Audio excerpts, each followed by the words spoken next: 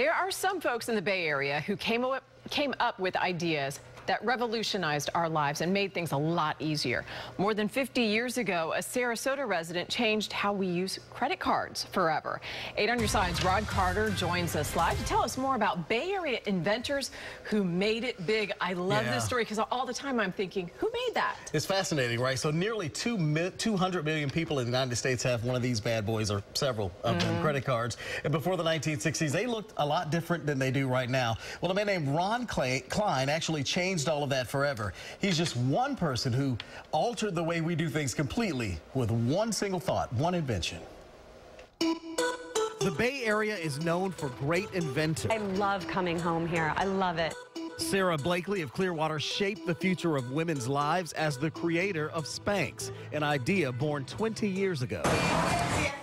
And now, every time someone swipes a credit card to pay for a pair of those Spanx, The biggest mistake is not to simplify. It. You have this man to thank for making that purchase easier. Sarasota's Ron Klein created the magnetic strip on the back of cards and the electronic system that goes along with it. Before his invention, the numbers were checked manually. Right around that time, reel to reel tape recorders came out. And I said, I know how that works. If I could take a little piece of that tape, record the account number on it, build a little device that mimicked the tape recorder, a reader, okay, paste that little piece of tape on the back of the plastic credit card, and make you the motor. And the modern day credit card was born. Klein is known as the grandfather of possibilities. He also developed computerized systems for real estate multiple listing services, Welcome to Bank of America. the telephone voice response system for the banking industry, and the bond quotation and trade information system for the New York Stock Exchange. And he is not done. I'm still not empty. I'm still developing now.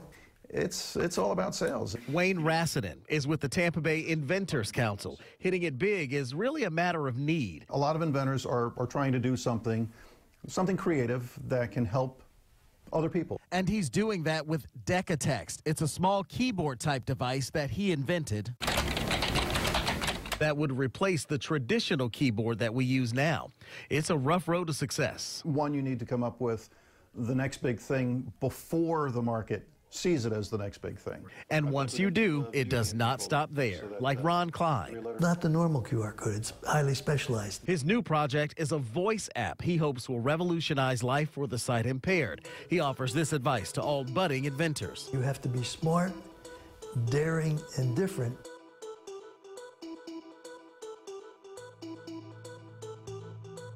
You do. And of course, credit cards have changed a great deal, although there are still magne- magne- magnetic, easy for me to say, strips on the back of those cards. There are, of course, the chips that are on the front of the card. Ask Mr. Klein about that.